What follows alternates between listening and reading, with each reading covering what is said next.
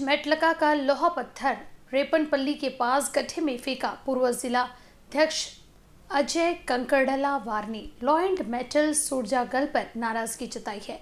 बड़े ट्रक एटापल्ली तालुका के सुरजागढ़ में लोहा लेने और उन्हें हर दिन ले जाने के लिए आ रही हैं, जिसके कारण आलापल्ली अष्टी रोड गड्ढों से भरा है जिससे यातायात की समस्या हो रही है। जब ट्रक पास के गड्ढे में फंस गया था तो पूर्व जिला परिषद अध्यक्ष ने खुद जेसीपी से बात कर लॉइंट मेटल सुरजागढ़ रोड पर गड्ढे में लॉयर्स ले जा रहे ट्रक का रास्ता साफ़ किया।